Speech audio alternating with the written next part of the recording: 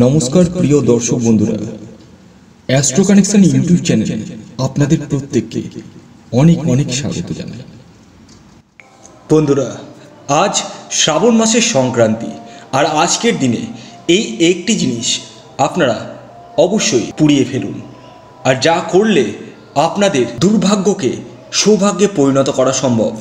অর্থাৎ আপনাদের যে অর্থ কষ্ট রয়েছে, মনোকষ্ট রয়েছে, এই সমস্ত কষ্ট থেকে আপনারা অবশ্যই এই দেবাদিদেব মহাদেবের আশীর্বাদ প্রাপ্তি করতে পারবেন। আর যা করলে আপনাদের অর্থনৈতিক স্থিতি যথেষ্ট পরিমাণে ডেভেলপমেন্ট করবে।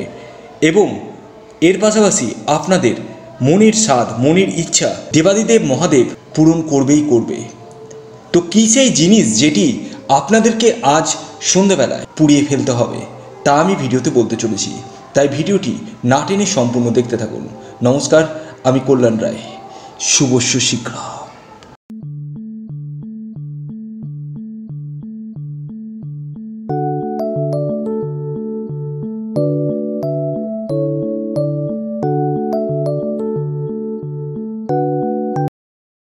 দেখুন, আজ শ্রাবণ মাসের সংক্রান্তি, আর আজকের দিনে দেবাদিদেব মহাদেব, অর্থাৎ ভোলে বাবাকে এই একটি জিনিস অর্পণ করুন, অর্থাৎ পুড়িয়ে দিন। যা করলে আপনাদের অর্থকষ্ট দূর হতে বাধ্য।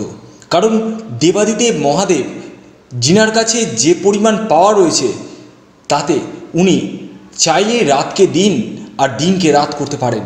হ্যাঁ বন্ধুরা, আর এই কথাটি তারাই সমর্থিত হবে যারা দেবাদিদেব মহাদেবের একনিষ্ঠ ভক্ত রয়েছেন।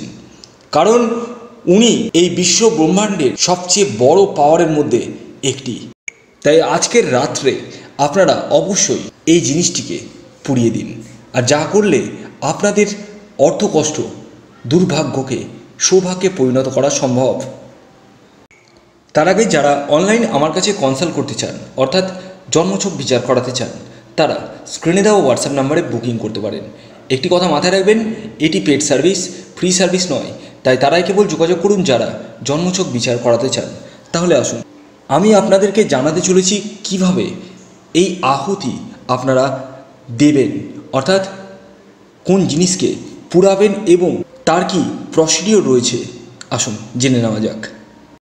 আপনারা প্রতিদিন যেভাবে সন্ধ্যের সময় সন্ধ্যা আরতি দেন, ঠিক সেভাবেই সন্ধ্যে আরতি দেবেন এবং এর পাশাপাশি দেবাদিদেব মহাদেবের চিত্রে বা কোনো যদি শিবলিঙ্গ থাকে আপনার গৃহে, সেই শিবলিঙ্গে আপনাদেরকে এই কাজটি করতে হবে। আপনারা একটি কর্পূর এবং একটি লবঙ্গ নেবেন এবং এই কর্পূর ও লবঙ্গটিকে আপনারা দেবাদিদেব মহাদেবের চরণ স্পর্শ করিয়ে এবং সেই সময় ওম নম শিবায় এই মন্ত্রটি উচ্চারণ করে আপনারা অবশ্যই সেটিকে জ্বালিয়ে দিন এবং সেটি দিয়ে আরতি দেবাদিদেব মহাদেবকে দেখান এবং তার পরবর্তীতে আপনারা সেই কর্পূরের যে ছাই রয়েছে, সেটিকে আপনারা, আপনাদের কপালে তিলক কাটুন এবং কাটার সময় আপনারা, আপনাদের যে মনোবাঞ্ছা রয়েছে, সেই মনোবাঞ্ছা দেবাদিদেব মহাদেবকে জানুন।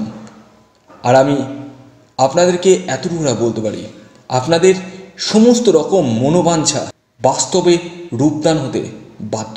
এই ছিল আজকের ভিডিও। যদি ভিডিওটি ভালো লাগে এখন একটি লাইক করে দিন, শেয়ার করে দিন এবং এখনও পর্যন্ত সাবস্ক্রাইব না করে থাকলে সাবস্ক্রাইব করে ফেলুন। ধন্যবাদ।